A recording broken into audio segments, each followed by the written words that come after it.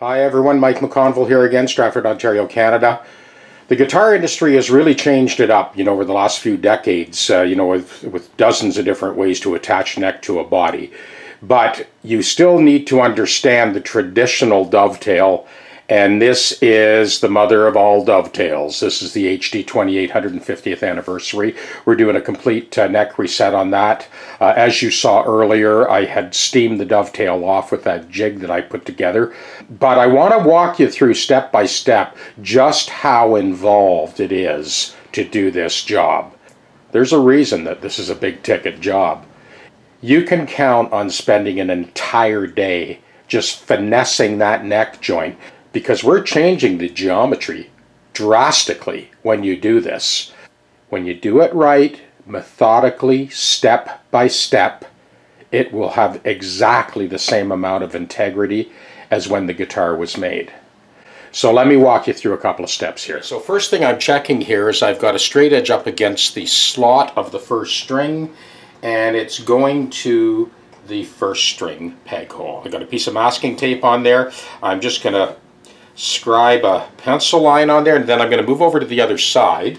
Same deal for the sixth string. I'm going from the sixth string nut slot to the center of the bridge pinhole for the sixth string. I will scribe another line here on the mask. Okay, we're bringing you in nice and tight here. Here is the trajectory of the first string. Here's the trajectory of the sixth string.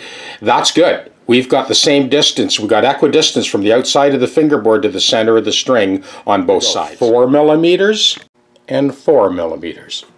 So you can see now this fingerboard extension has a little bit of flex in it. It's kind of flipping up a little bit. Well, we got to deal with that. That's part of the neck to body junction geometry. So after pulling that neck off and then changing the angle like this, that, means that the, the geometry on the cheek of the heel, the inside of the heel, and the geometry on the tip has changed. It's tilted back. So the fingerboard extension now needs to flex down to make 100% contact to the soundboard surface like when the guitar was made. So what I've done and what I always do is I make an undercut here at the top of the dovetail to give that enough flex and relief so that we can get 100% contact on the underside of the fingerboard extension, both sides of the dovetail, and the soundboard surface. On the dry run, like you saw me doing that 1920s Hensel guitar, I actually put a couple of strips of two-sided tape. And then I'll work that neck to body junction where we have that sort of hump. To do this job properly, we need to true up the fingerboard right from the nut right. right past that neck to body junction where you have that sort of bump now that we've tilted the neck back. Okay, we've got three strips of double-sided tape. We're going to push that dovetail into place. I have uh, just a couple of thin pieces of masking tape on either side of that dovetail just to give me a, a solid fit. Now when we glue the neck on, this, this is another argument for hide glue. We mix the hide glue up so that it has enough viscosity or thickness to fill any gaps. The fingerboard extension will also be done with hide glue in this instance. So what I've got here is a radius piece of hockey pucks. I'm putting another piece of hockey puck up against the head brace and this will give us what we need to pull that fingerboard extension in tight. Just for good measure, I've got another piece of hockey puck on the underside of the back and we're going to pull this in tight as well. Here's a real close look. I've got a light on that so you can kind of see just how accurate that fit is. The fingerboard extension, this is the treble side. This is the kind of fit we're aiming for. Side two, this is what we're after. Just kind of clean that dust off of there.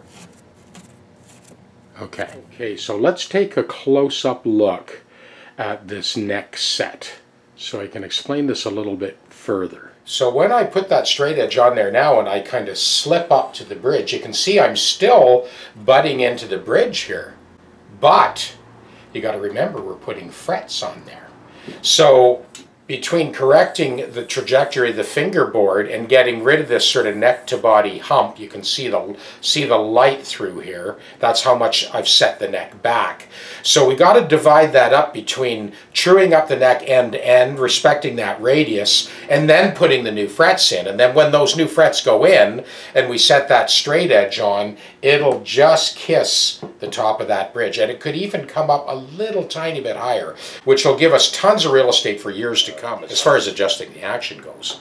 I am removing the nut because we're going to be putting a compensating nut on, of course. So I've got that nut confined between two tongue depressors so that as I split it in half, there's zero chance of scoring the headstock or the fingerboard. So this is how I'm holding the guitar on the tech deck. The, so the body is held down against the uh, double-railed body platform. This strap here pulls the instrument in this direction. The other strap pulls it in an opposing direction, and that holds it down and immobilizes it as we do our work. Uh, I've got both neck straps on here because we're just splitting uh, that nut in half before we heat it to remove it because we're going to be putting a compensated nut in there. You can see we've cut down to just a whisper above the glue line. Stopping to check as I go, and that's it. We're ready to heat it up and ease that out. We'll just pull those protective tongue depressors off. Get the other one off. We're going to heat that up with the uh, hair dryer for about four minutes.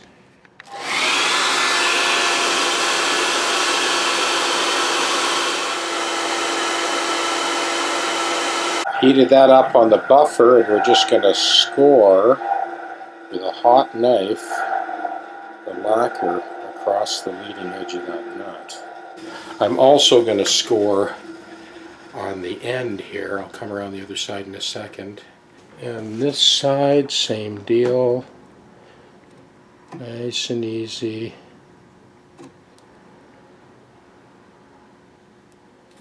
Beautiful. Now we'll tap that towards the center line gently and break that, that glue joint. I'm just going to tap it this way before we pull it just to make sure we don't chip any lacquer. Okay, liking that. And now we'll ease it out.